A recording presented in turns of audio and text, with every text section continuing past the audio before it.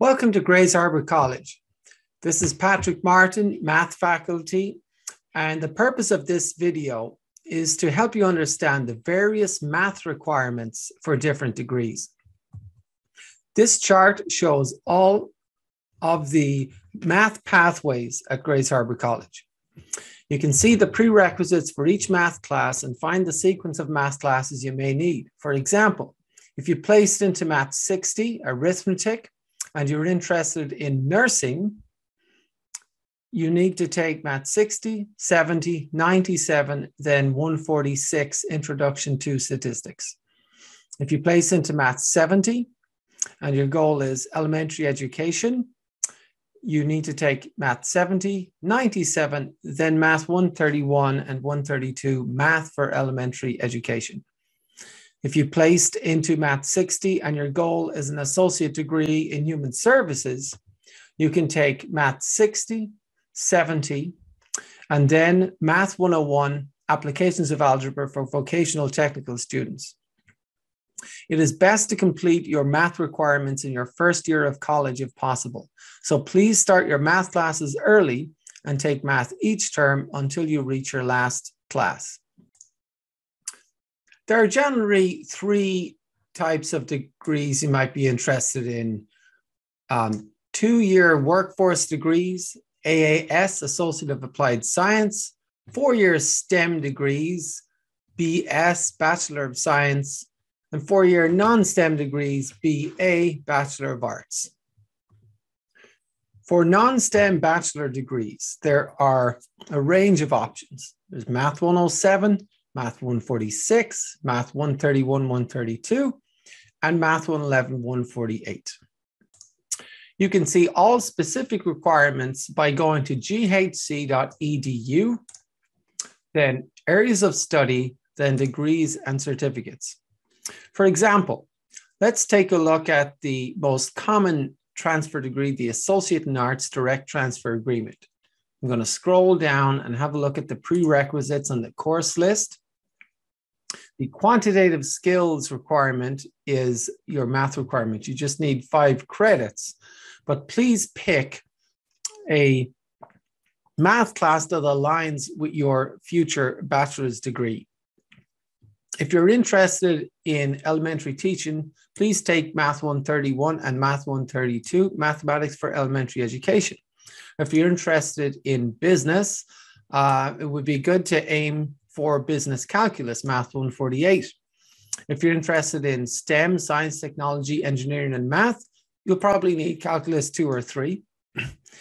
If you're interested in nursing or social science or perhaps psychology, you'll probably need Math 146 statistics. And then for Bachelor of Arts degrees in arts, humanities, criminal justice, and more, you can take Math 107, Math in Society. The actual content you will be studying in these math classes is quite different. Each class is designed for different degrees and different careers. For example, if you're planning to teach math to children, please take Math 131 and 132. These courses are specifically designed to prepare the prospective K8 teacher to understand elementary school mathematical concepts taught from kindergarten through eighth grade. If you're planning to get a bachelor's degree in the area of business, please take Math 111 Finite Math and Math 148 Business Calculus. For example, this bachelor's degree in accounting at Washington State University requires finite math and business calculus in the second year. GHC's Math 111 and Math 148 will transfer as equivalent to Math 201 and Math 202 at WSU. Speaking of a bachelor's degree in business, our Associate in Business Direct Transfer degree, ABDT, will set you up for a smooth transfer to many business related bachelor programs. Let me show you area of study, degrees and certificates, associate in business, direct transfer, and then take a look at the prerequisites and course list here. Math 111, Math 148. Math 146 statistics counts as the math requirement for a bachelor's in nursing, in human services, psychology, forestry, and many more areas. Math 107, Math and Society, is designed for a bachelor's in liberal arts, majors in humanities, arts, criminal justice, and more. For a STEM degree, you will probably need Calculus 2 or Calculus 3. STEM means science, technology, engineering, or math. For example, engineering degrees at the University of Washington require Calculus 3. Their Math 126 is equivalent to our Math 163 Calculus 3. Speaking of STEM degrees, our Associate in Science transfer degrees will set you up for a smooth transfer to the third year of a bachelor's program.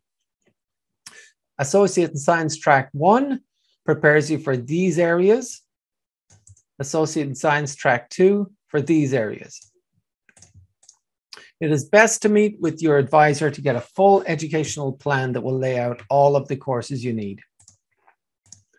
Different workforce degrees have different math requirements, either Math 100, Math 101, or BA 104.